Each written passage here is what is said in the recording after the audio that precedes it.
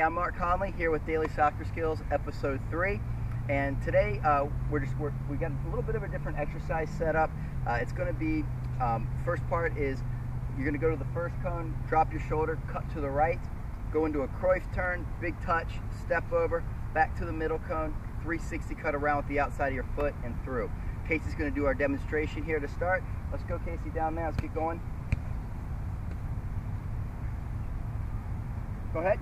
So you dribble to the first cone, drop fakes right, Cruyff turn, step over, 360 cut back to the middle of the cone and through, and go ahead on back down.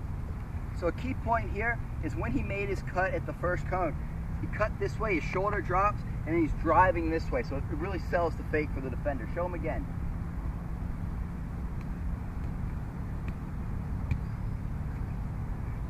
Step over, Good. He went left foot that time. Good. Let's go on back and let's try right foot again. Two more.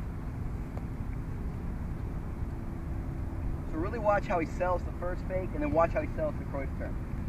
Big touch. Big touch on a step over. Right foot around, 360 cut around. And dribbles through. And last one, go ahead and show him the left foot. Show him the left foot last one.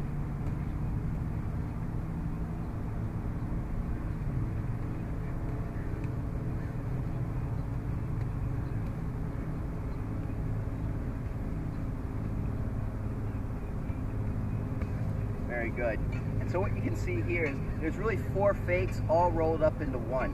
And so again, this two minute video becomes a 15 to a 20 minute workout when you're doing 10 to 15 fakes when you're going to the right, 10 to 15 when you're going towards the left, you know, utilizing right and left foot.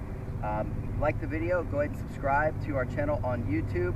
And uh, if you haven't gotten your free ebook yet, you can uh, sign up for it online at dailysoccerskills.com. Um, enough talking, let's get out there and train.